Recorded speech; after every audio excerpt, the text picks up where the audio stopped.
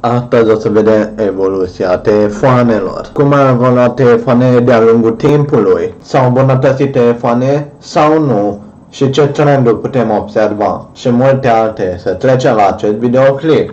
Primul telefon, să știți, așa arătau telefoane mai de mult. Nu, așa arătau. Bine, dar acum mă refer la telefoane mobile. Dacă așa auzi vreodată despre Nokia, probabil știi despre ce este vorba. Are butoane, nu poți să folosești ecranul ca să navighezi și mai avem și niște variante. Practic sunt la fel, doar arată diferit. Ai deschis telefonul pur și simplu. Ai deschis telefonul așa și după aceea nu folosești. Iar ai deschis telefonul așa. Și cel mai important lucru, folosești telefonul ca un telefon dai apeluri, primești apeluri și la fel și cu mesaje și atât nimic altceva. Apoi apoi telefonul touchscreen, adică poți folosește ecranul ca să faci diferite lucruri și plus poți folosește asta și la alte lucruri în afară de apeluri. Cum ar fi să accesezi internetul, să folosești calculatorul de calculat, să joci jocuri, să faci poze, filme, Apoi de aici telefonul a devenit din ce în ce mai mare. Problema este că dacă telefonul tot devine din ce în ce mai mare, la un moment dat nu va mai fi telefon, ci va fi tabletă. Să zicem dacă sunt telefonul cu o singură mână, abia reușesc să ajung cu degetul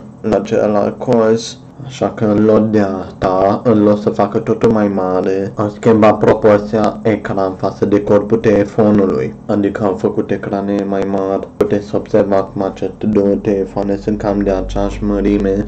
Dar ecranul unui telefon este mult mai mare decât ecranul celuilalt telefon. Un alt lucru care s-a îmbunătățit este timpul de reacție. Vreau să testez asta la fiecare telefon, dar este așa de greu să țin atâtea telefoane încărcate.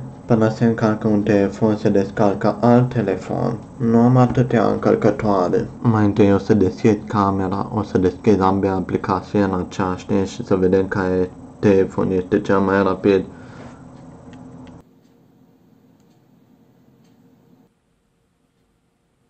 Bateria acestui telefon mă ține mult mai mult decât aici. Asta poate și pentru că bateria s-a uzat de-a lungul timpului. Dacă vrei vreodată să iei un telefon nou, gândește-te așa merită. De exemplu, camera acestui telefon este mult mai bună decât camera acestui telefon. Acest telefon e mult mai rapid decât acest telefon și plus are și lente ultra-wide. Și plus telefoanele se uzează de-a lungul timpului. Și fizic și moral. Dacă te gândești că telefonul tău e mult mai lent decât ar fi trebuit să fie, probabil ai folosit acest telefon pentru o lungă durată de timp. În general se schimbă telefoane la 2 ani, 3 ani sau chiar mai mult. Eu aș zice 2 ani, dar asta doar dacă merită. Dacă telefonul este în taie perfectă, nu ai nicio problemă și nu este absolut nimic mai bun la același preț, atunci probabil ar trebui să păstrezi telefonul în continuare. Dacă v-a plăcut acest videoclip cu mine vorbim despre telefoane. Bun, ok, da, asta a fost tot. Pa!